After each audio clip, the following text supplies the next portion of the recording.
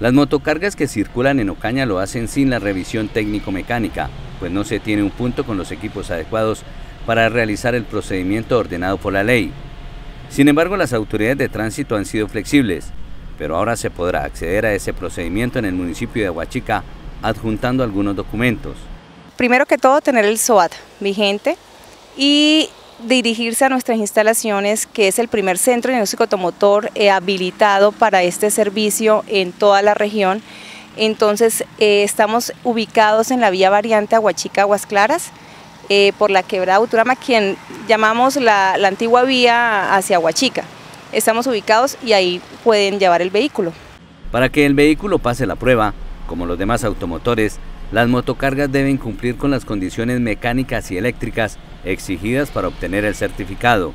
Pues que esté bien en la parte de visuales, de luces, espejos, eh, llantas, ¿sí? que esté bien de frenos, revisarle bien frenos y sobre todo eh, no esté botando humo negro ni humo azul, o sea, no esté para reparación.